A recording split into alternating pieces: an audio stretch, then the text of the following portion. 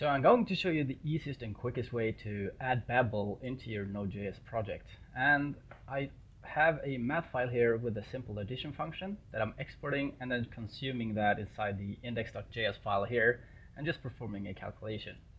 So to start off, we have to add four packages that all has to do with Babel. So yarn add or npm install, your preference.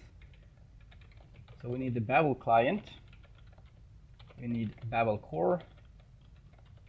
We also want Babel node. And finally, the preset environment.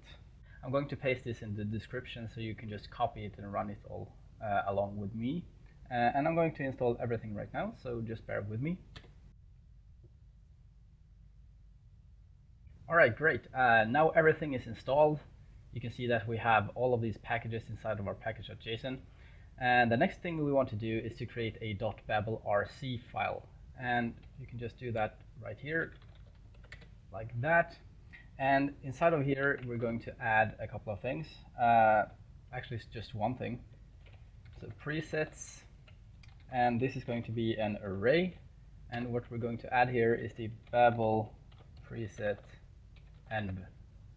So that's everything for this file. Now we can go into our package.json and instead of, you, you can see here that we're running node and then the file that we want to run.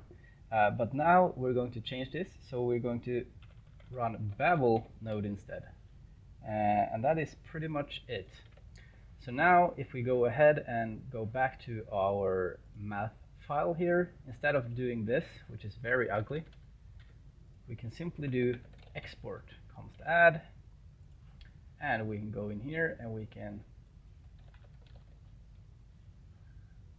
let's just do import add from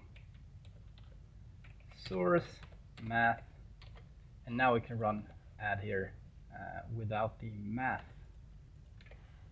thing.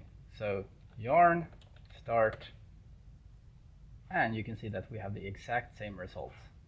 So this was just a quick video of showing you how you could add Babel and if you like it subscribe and I'll see you in the next one Thank you. Bye.